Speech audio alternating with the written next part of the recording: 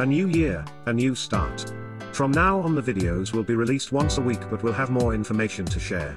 The information previously was a little packed and often lack enough juice.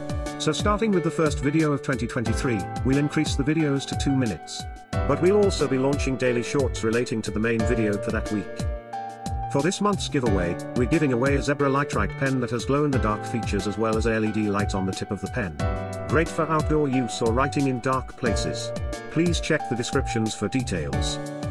The company founder, Tokumasu Ishikawa, began making homemade pen nibs in 1897 until he established his business in 1914. He named his company Zebra to build a business with family-orientated culture, like the strong herding instincts of zebras.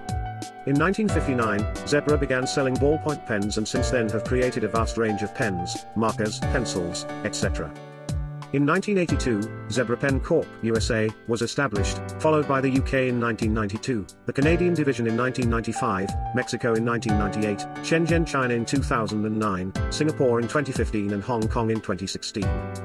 Although similar in naming, Zebra Technologies has no relation to the Japanese company Zebra Pens. There are a number of popular brands under Zebra pens. Each brand is like a series of models. But a lot of the interesting new designs and products are only offered in the Japanese domestic market. Some of them are distributed by third-party distributors. So usually have limited stock if found outside of Japan.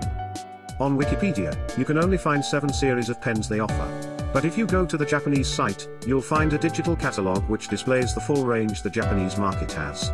The link to the catalog will be in the descriptions. For the 125 years of the company's existence, Zebra has kept its business within the Ishikawa family. The current president of the company is Taro Ishikawa.